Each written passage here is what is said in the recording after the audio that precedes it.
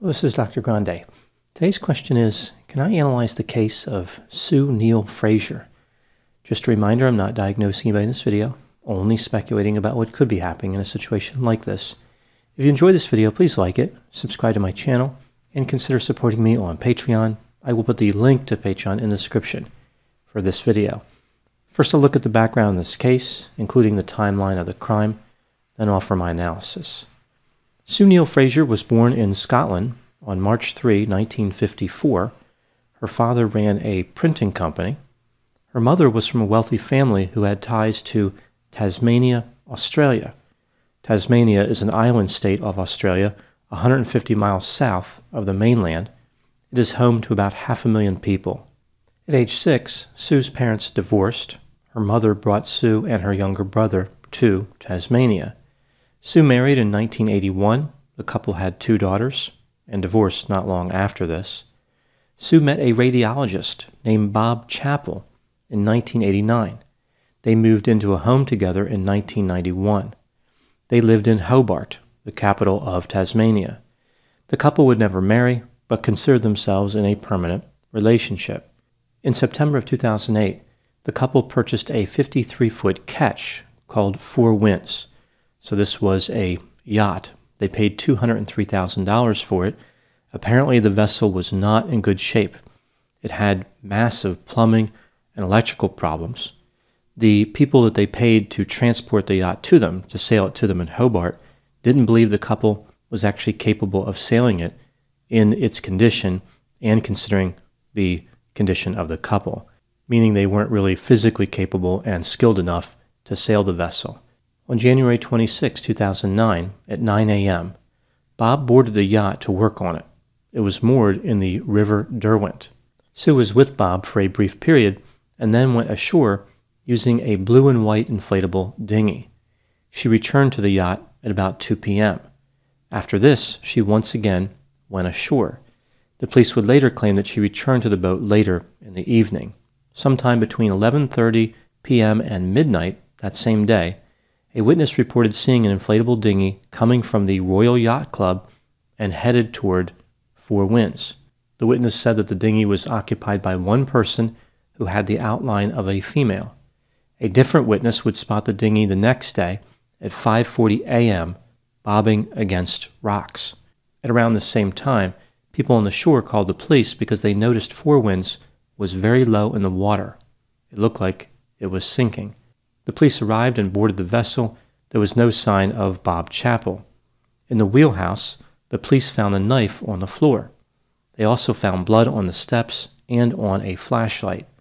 Seawater was coming into the vessel through a pipe that had been severed in the bathroom and through a valve under the floor panel, referred to as a seacock. This is a valve that goes directly through the hull and is used to bring water into the vessel for various purposes. Not normally to sink it, but for other non sinking related activities. The police searched for Bob in the area, but there was no sign of him. They used divers and looked all around. The water was pumped out of the yacht and it was towed to Constitution Dock on January 27. This was nearby. Sue was brought on board. She noticed a few things out of place that she pointed out to the police. A fire extinguisher and an emergency beacon were missing from their respective brackets. A winch handle was in a winch on the main mast, which it normally would not have been because people could hit their heads against it. The handles are removed when the winch is not being operated. There were ropes on the winch which were out of position, like perhaps somebody was using it to lift something off of the deck. Sue told the police that on the afternoon of January 26, she tied up the dinghy at the Royal Yacht Club and went to a hardware store. She was there for several hours, but didn't buy anything. She walked up and down almost every aisle in the store. She told the police what she was wearing and exactly where she walked. Sue said that after spending hours in the hardware store, she went home where she stayed all night until she was notified the next morning that the yacht was sinking. The police checked the surveillance footage at the hardware store, but she was not on it.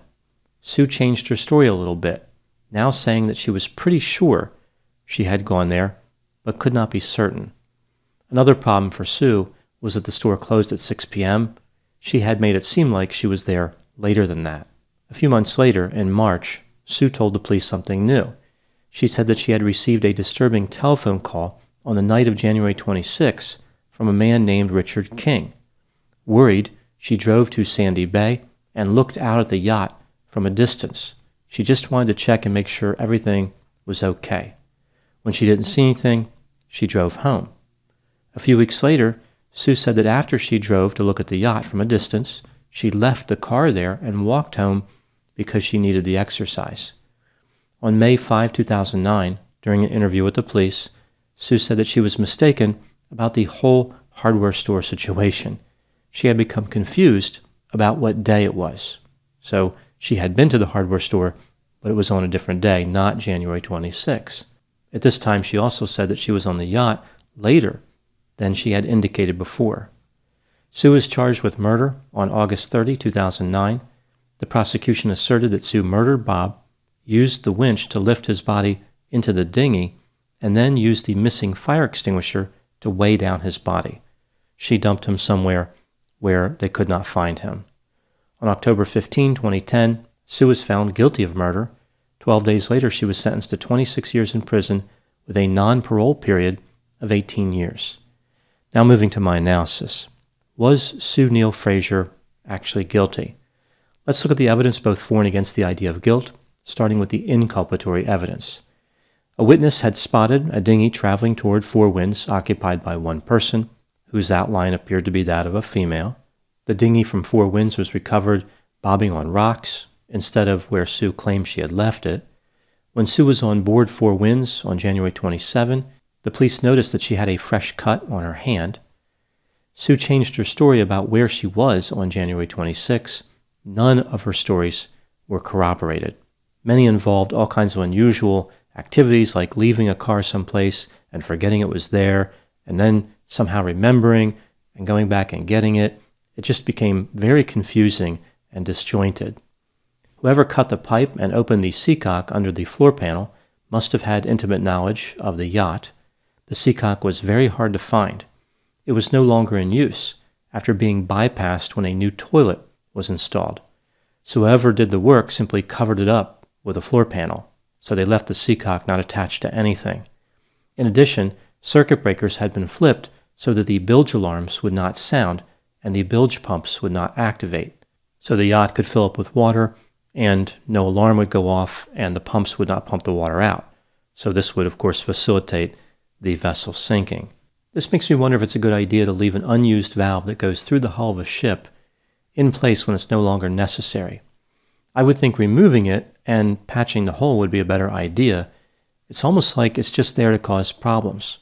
I can see a lazy mechanic trying to explain the decision to leave it in there to a concerned yacht owner. Don't think of it as a superfluous valve, think of it as a self destruct button. It's just like Star Trek. A handle was left in the winch on the main mast, as though someone was trying to lift something heavy off the vessel, perhaps the body of Bob Chappell. Someone had attempted to clean up the crime scene. Anyone could have done this, but the prosecution argued that a stranger would not have cared to. Like they wouldn't be concerned about that, they would just want to get off the vessel. Sue's reaction to the call from Richard King was suspicious. One theory here was that Richard was calling and wanted to talk to Bob. This made Sue worried that Richard was going to go out to the yacht to see him. She traveled back to the vessel to destroy evidence. Sue's red jacket was found on a fence on Margaret Street, about a half mile south of Constitution Dock. Her DNA was on the jacket. When the police showed her the jacket, she denied it was hers and could not explain why it was there. Now moving to the exculpatory evidence. Bob's body was never recovered Obviously, that means that no cause of death was determined if Bob is in fact dead. It could not be established that Bob's blood was in the dinghy. Prosecutors showed the jury pictures of luminol inside the dinghy, and the pictures looked very convincing to them. The luminol was reflecting all over the place, but luminol can detect more than just blood. It is just used to screen for blood. It is not the definitive test for the presence of blood. Witnesses saw a dinghy on the starboard side of Four Winds during the afternoon of January 26. The dinghy was aluminum and gray in color instead of inflatable and blue and white in color. The DNA of a 15 year old homeless girl named Meaghan Voss was found on board Four Winds. The DNA was not identified until sometime after the murder. Meaghan denied having any memory of being on the yacht or even being in the area of Constitution Dock. The police said that the DNA must have been found in the yacht due to secondary transfer through foot traffic. So they were trying to help Meaghan out here, like to explain how her DNA was there. Some experts believe the DNA was there through primary transfer, meaning that Meaghan was almost certainly on the yacht at some point. Meaghan was living in a homeless shelter in January of 2009, but she denied being in the area at that time. Later, investigators found a shelter in North Hobart that recorded Meaghan as scheduled to stay there on the evening of January 26, 2009. Meaghan told the staff that she wanted to sleep in an address in Mount Nelson. She was supposed to call the shelter when she arrived at Mount Nelson and provide them the phone number of the individual with whom she was staying. But she never did, so she had an unexcused absence from the shelter. Meaghan Voss would later change her story in a dramatic fashion. She said that she was, in fact, on board Winds on January 26 with two other men who murdered Bob Chappell. One of the men was her 17 year old boyfriend, and the other was an older homeless man they knew. She and the two men went there to steal valuable items from the yacht. This is something she said her boyfriend did regularly. They were startled that Bob was there. A struggle ensued, and the men killed Bob. Meaghan vomited after the homicide. That's why her DNA was found on the deck of the vessel. Later, Meaghan recanted this confession. She claimed that people trying to prove Sue's innocence were harassing her, like they coerced her into telling the story. Investigators made a number of mistakes in this case, like losing evidence and failing to test items found on the vessel. A homeless man with a violent criminal record was on another vessel during the time of the murder, which was right near Four Winds. The police did not investigate him until quite some time after the murder. With all the evidence in mind, do I think that Sue Neill Fraser was guilty? I believe she is guilty in reality, but there's no way she's guilty beyond a reasonable doubt. The fact that Meaghan's DNA was found on the deck of the yacht is incredibly exculpatory, even without Meaghan's recanted confession later on. There have been cases where people have been convicted based only on their DNA being found at a crime scene, yet Meaghan was never even charged and Sue was convicted. What's so interesting in this situation with Meaghan confessing and recanting is that it creates two very different theories of the crime. Either Sue killed Bob and disposed of his body by herself, or Meaghan and her two associates committed the crime. One could argue that perhaps Sue was in a conspiracy with the other three, but I don't think this is likely. There would have been no reason to use the winch if there were four people involved in the murder. They could have easily lifted Bob into a dinghy. Another theory is that Sue was only with Meaghan, but again, this seems like an unusual conspiracy. In my opinion, one theory or the other is probably true. They are distinct. There is not much room for overlap. If Sue is guilty, how did Meaghan's DNA get on the deck of the yacht? It may have been that she was there at some point before the murder, perhaps engaged in some activity which was illegal, so she didn't want to say anything about it. I suppose it also could have been secondary transfer, which is the prosecution theory of how it got there. I think Sue Neill Fraser was convicted because she just couldn't seem to stop talking to the police. She didn't have to say anything to them, but she chose to say a lot.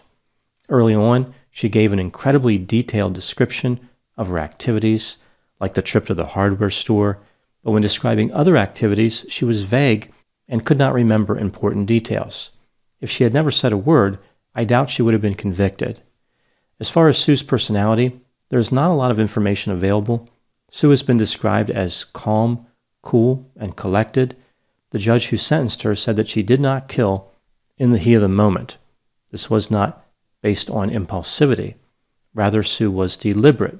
She planned the murder carefully for some time and had a clear motive, like money.